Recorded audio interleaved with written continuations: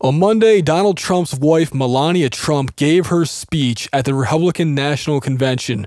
It was a very nice speech, in my opinion, but it is now being overshadowed by the fact that passages from it were taken right from First Lady Michelle Obama's 2008 Democratic National Convention speech. Huge face palm. Huge.